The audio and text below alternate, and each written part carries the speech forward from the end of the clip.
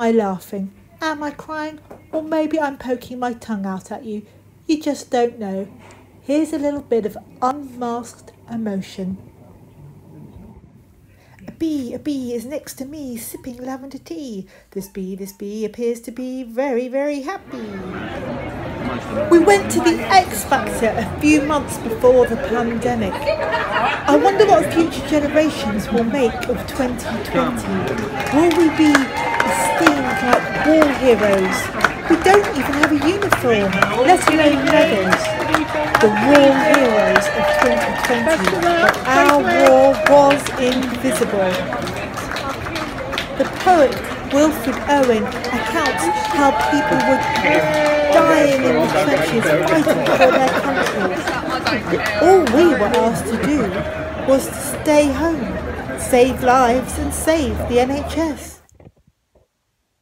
So I'm on my way to Slimming World, where my only concern was that I'd eaten a McDonald's the pre-pandemic days. Oops. Dog Sumi's pre-pandemic carefree days. The previous year, when I had all sorts of hopes, dreams, and ambitions for my walking and my life per se.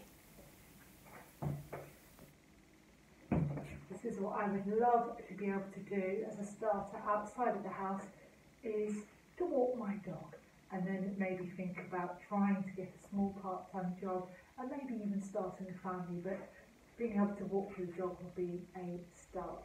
So I'm going to try and walk again up and down the corridor.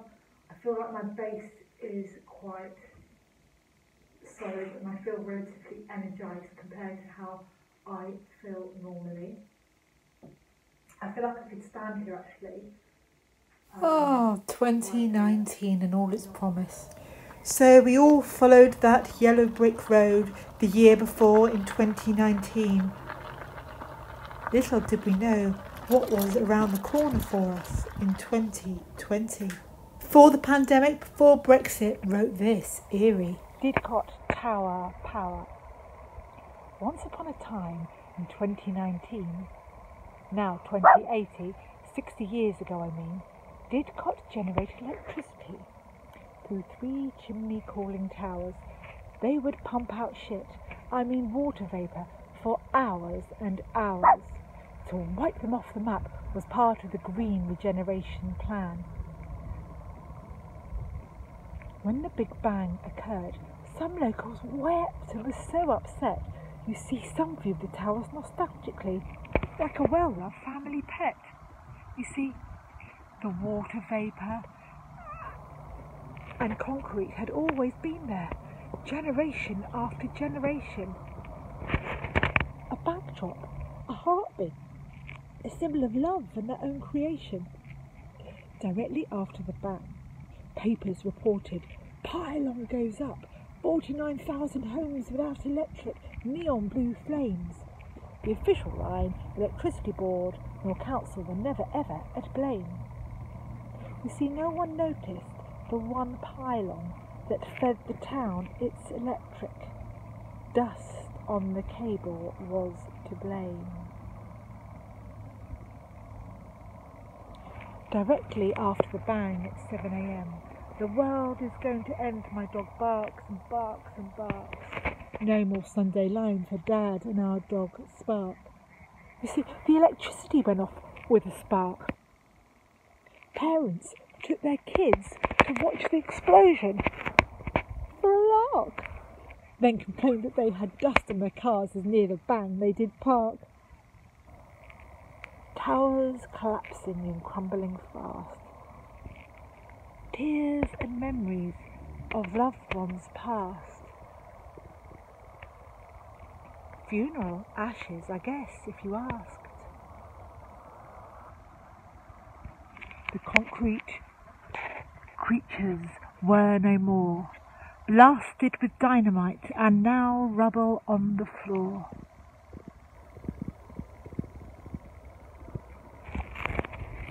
Dad teased. What landmark now will we use to get back in the car? Nearly home, Mum would smile as she saw the towers loom over fields from afar. Dad added, I'm sure we'll all get over it as our house prices soar.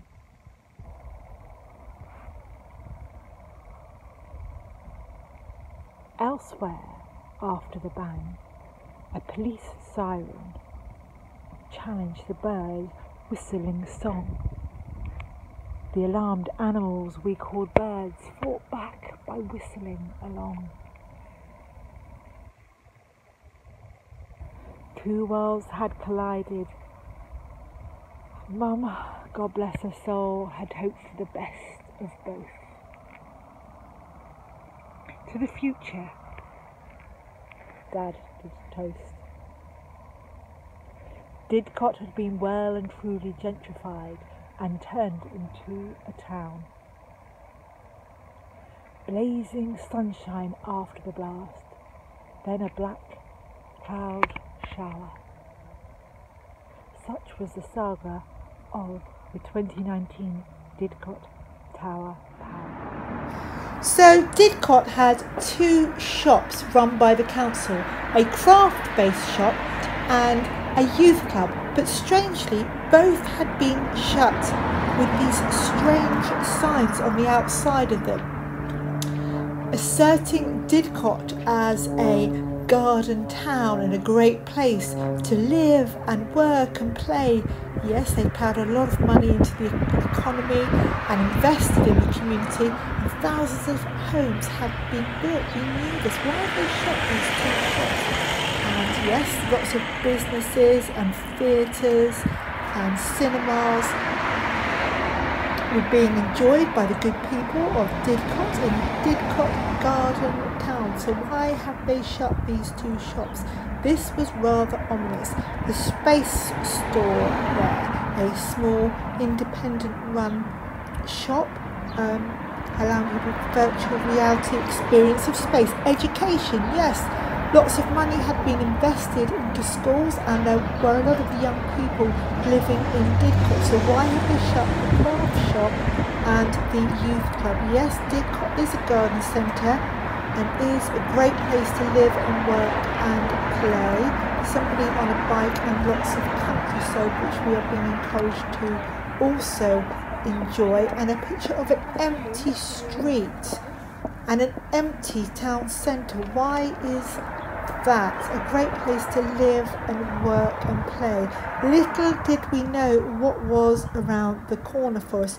Yes, a swimming pool and allotment, neither of which we would be able to use over the next few months.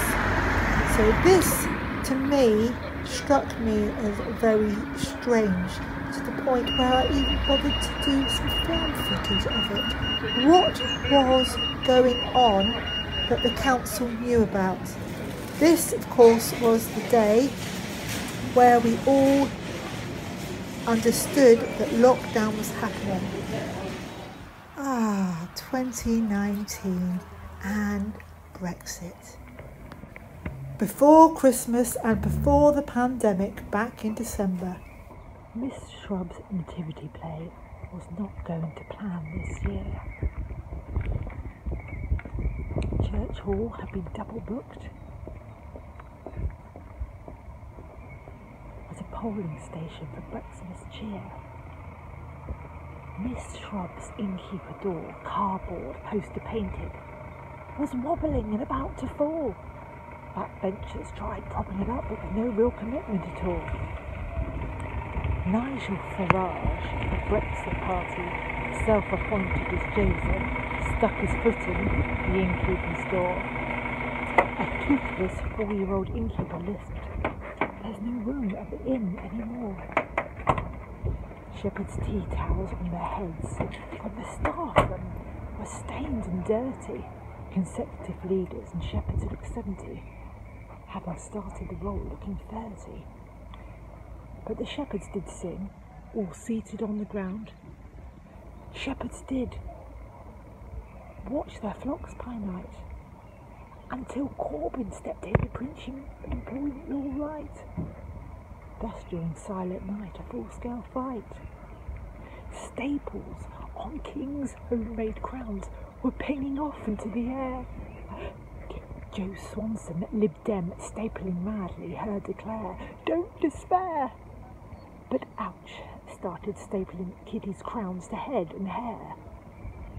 The kings did fight back, brandishing their orients of awe, beholding fountain, moor and mountain, following yonder star. Except the star was on strike too. Her night shifts were long and she refused to sparkle and sing the twinkle, twinkle song. I mean the reviews, the graduate paper. Parents were whispering every other line to bemused politicians, their eyes squinting in the stage light. Politicians not having scripts about what Brexit is and struggling with all their might. The Daily Rag, Green Party renamed Jesus Leaf to make him non-binary rather than a bloke, then then told angels to chillax and gave them all a wacky wacky smoke. And there was more from the parents. Libs started bribing teachers with the king's and shepherd's gifts to vote. The Brexit Party decided a stable was not okay for ki- God's kid and wanted to build a castle with a moat. The t- Tories wanted to build on the fields where the shepherd's flock slept and dwelt. Green said building would make the polar ice caps melt. I mean, the parents' review of the show was mixed to say the least. Many felt the shrub had gone a little off piste. Watching David Cameron had a fake cry. His wife Sam camcordering saying something in his eye. Toddler Florence weeping, Why, Daddy, why did you suggest a referendum? She did sigh.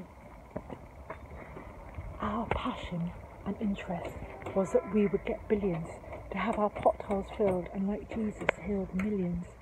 I never did find out who won the poll. But thanks for listening. God bless your soul.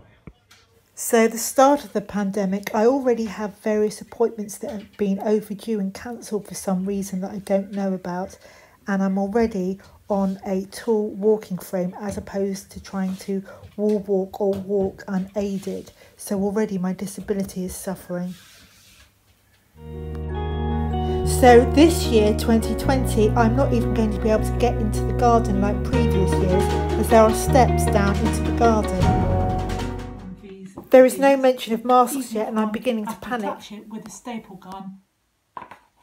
Old fashioned styly. However, as it is, not before Wednesday, the 13th of May. Step one outdoor exercise is now unlimited as long as you socially distance. Two, you are now allowed to visit parks, walk, sunbathe, and even barbecue as long as you socially distance. You can now drive to other destinations in England, no distance stated, but not Scotland or Wales, to exercise as long as you socially distance. You can now play sports, but only with people from your own household to reduce the chance of infection to others. Fines may be increased for people who ignore social distancing rules and take part in social gatherings. You can now start going back to work if you can't work from home and social distancing can still be met. Manufacturing and construction work were cited. You should try to avoid public transportation where possible, ideally walking or cycling to work if practical, if not, then drive. Hello, So these- August 2020 here again. So, back um, in the spring, Boris had also started to map out how he saw stage two and stage three going. or the like. Um, however, just gone through step one. Step two, of course, which we're hoping for in June at the earliest here in the UK, the phased reopening of retail and some shop shops. So this is all June at the earliest. Look at getting primary schools back, but only reception year one and year six. Secondary school pupils will get some time with teachers before the holiday regarding exams. So that's step two. And so, step one, which I presented in the previous episode, and step two, which I've just told you about, will be closely monitored before moving to step three, which will only happen if there is no major increase in infections. A major increase will result in return to lockdown status. Then, of course, we've got step three, which will be no earlier than July 2020, we've been told. So, start to look at reopening hospitality and other public places that attract large gatherings, such as restaurants, cinemas, theatres, etc., um, leisure, and the above is staged over the next two months, basically. So, stage two and stage three. So, in a nutshell, social distancing rules here in the UK stay in place and must be followed. Visiting other households is still not permitted. Social gatherings are still not allowed. You do not have to return to work if your place of work is not yet allowed to open or your employer chooses to remain closed. And restricted movement is not over, it has just been slightly relaxed to see if doing it has an effect on the reinfection rate, this R value, which is the buzzword here in the UK at the moment. So Boris um, made it clear if the steps are not met, then social distancing and restriction movement will carry on until the steps are met. Um, another buzzword that um, joined us here in the UK was stay alert. Don't know where they picked that one up, but remain aware and diligent that the virus is still a threat to your health and the health of others. Control the virus, continue to control the spread of the virus by adhering to social distancing guidelines avoid or restrict contact with others outside of your household and save lives. Do your part to help stop the spread of the virus to yourself and others. So that is kind of where we are here in the UK at the end of play today. It'd be really interesting to hear what's going on in Australia, America, and Europe. So please do feel free to comment below on this post. I'd be fascinated to hear what your rules and policies are in your country at the moment as regards this prolific, horrific um, illness that is affecting all of our lives. So it's now August 2020, and you will notice that I have aged by about 20 years. Um, very few hairdressers are open, beauticians aren't opened. Um, I'm lacking sunlight and oxygen, as you can just tell by looking at my skin, and my poems have taken a very different turn. Stay home, Grandma Iris, coronavirus. Stay home, Cousin Nathan, self isolation. Stay home, niece Divine, unprecedented time. Stay home, Aunt Tosh, alcoholic hand wash. Stay home, Brother Peter, distancing of two metre. Stay home, Mum L, alcoholic hand gel. Stay home, Dad Bing, mask wearing. Stay home, Mrs. Wok, time bomb, tick tock. Stay home, Mr. Bean, too late, ventilator machine. I actually ended up in hospital over the pandemic for three weeks because I fell over and fractured my good leg, and because the issues with my bad leg had not been seen to, and I'd got outstanding bladder issues, it was considered that it was better for me to be in hospital as I was essentially bent bound and peeing myself, not to put too fine a point on it.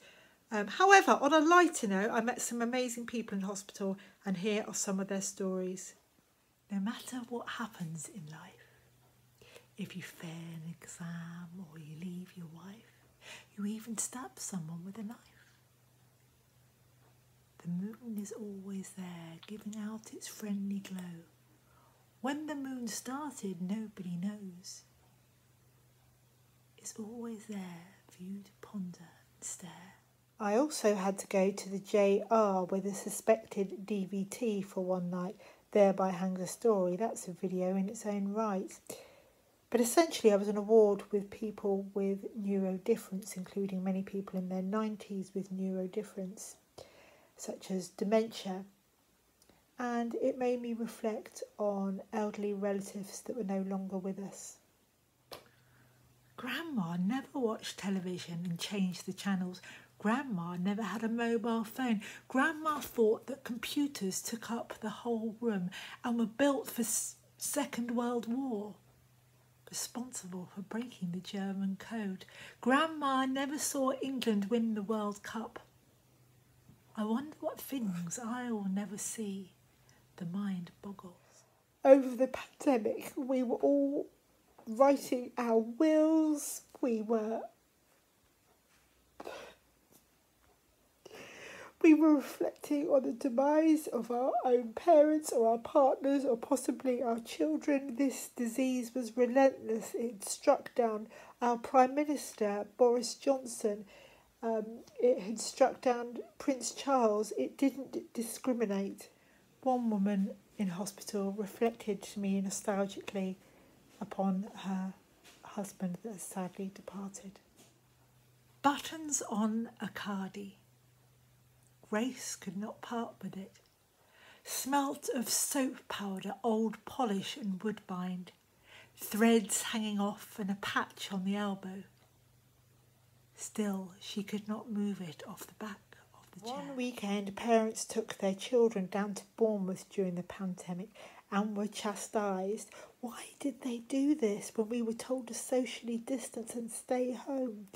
I can only think that parents were trying to recreate the fond, loving memories that they had of their own youth and their own childhood. What might these memories be? From the seafront souvenir shop, you select a bucket and net, rock pools, tiny crabs caught, put in a sandcastle bucket, fish and chips in vinegar, gulls dive bombing, swooping down sandy sandwiches, sandy hair, and sand castles everywhere, waiting for the tide to come in for your moat. Watching the sandcastle melt. You use the bucket to bail out the water. You want the day to last forever. Shelter your ear and hear the waves, hear the sea, tiny crabs released back into rock pools. In the car home, magical bright lights from the opposite direction, cosy and content inside the car. At the beginning of March 2020, I could see so much that was going wrong when we looked across to China and wondered what the narrative of the UK 2020 would be. 2020, the high street has been locked down and we have been locked up. Every shop, theatre, sports centre, restaurant, cafe to have a cup half empty and a hopeless sense of forebode. TV soaps rationed to once a week. Drama series producers have not had time to make this tweak. I wonder how TV, film, and theatre of this will play the coronavirus murder mystery when we were locked away. Scene one, I write, how to assume it's a hoax. Coronavirus, we joke. I write, scene two, how not to have any tests after a UK patient is diagnosed. Too relaxed, easy, lazy, and going with the flow, we supposed. Scene three, I write, how to miss thousands of cases of pneumonia and infect nurses, doctors, and paramedics alike. Obsessed with mental health and not yelling, treat pneumonia, coronavirus into a mouth. Scene four, how to delay and not issue lockdowns and social distancing Bring in the military to sort out this money and organisational thing, I write. Scene 5 How not to protect healthcare staff. Chasing around for PPE and scuba masks for a laugh. Scene 6 How not to have mask shields and other personal protective equipment that the military have sent.